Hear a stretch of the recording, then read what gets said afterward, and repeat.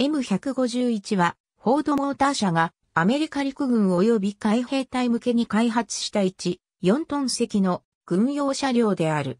第二次世界大戦におけるメガバイト、GPW や戦後の M38、M38A1 などの、いわゆるジープの後継となる小型汎用車両で、ケネディジープという非公式な愛称を持つ。乗員はドライバーを含め4名。ベトナム戦争で実戦投入され、陸軍では1990年代初期まで使用された。後に後継者のハンビーに更新されたが、海兵隊ではハンビーが大柄で C-130 輸送機での輸送と早期展開が困難なことから現在も使用されている。車体は鉄骨のはしご型フレームにボディを乗せていたジープに対し、ボディの一部を断面の大きな後半ボックスフレームとして一体化したモノコック構造が導入された。これにより、大幅な低床化、軽量化、構造の簡略化が図れたが、戦場では、スタックした際に、フックで牽引すると車体が歪むなどの難点も見られた。また、フロントグリルは横スリットになっているが、これは、ジープの縦スリットデザインが、著作権と商標登録で保護されていたためである。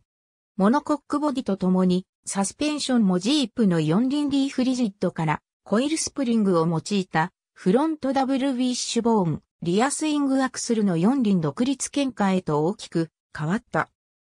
5インチ拡大されたホイールベースと相まってこの新しいサスペンションには移動速度の向上と兵員の消耗低減が期待されていたが、特に形積載かつ高い速度域での旋回時に、イン側リアサスペンションの伸び上がりから横転につながることが判明し、後にセミトレーリングアームへの設計変更を余儀なくされた。一方、前後に長いリーフスプリングを配したことで、対地障害となる前後のオーバーハングを切り詰めることができた。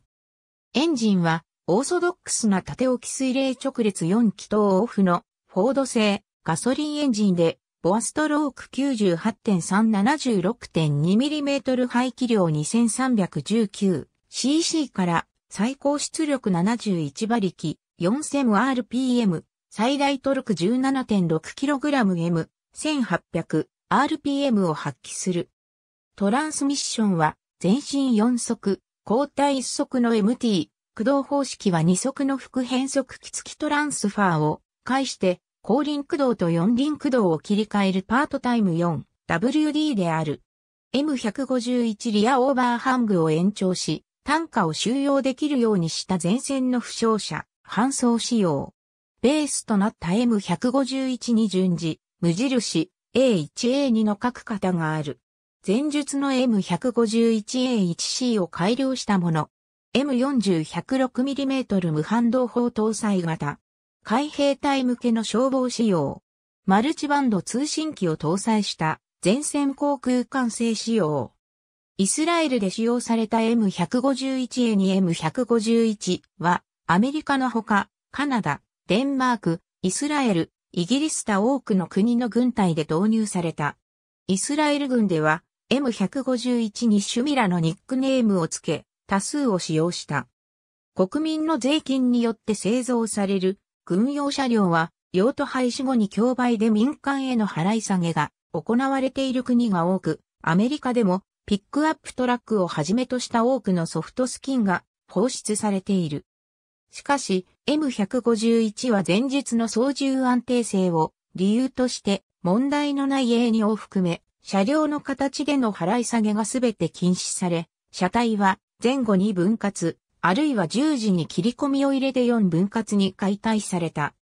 現在旧車趣味の世界で流通しているものは、解体を免れてアメリカ軍以外から放出された個体か、米国以外の中流地で廃車、解体されたものを溶接し直して復元した個体である。はしご型フレームのサイドメンバーに似た形状のプレス材をフロアパン仮面に溶接したような構造。現在のモノコックボディを持つ SUV やクロスオーバー SUV にも同じ手法が用いられている。ありがとうございます。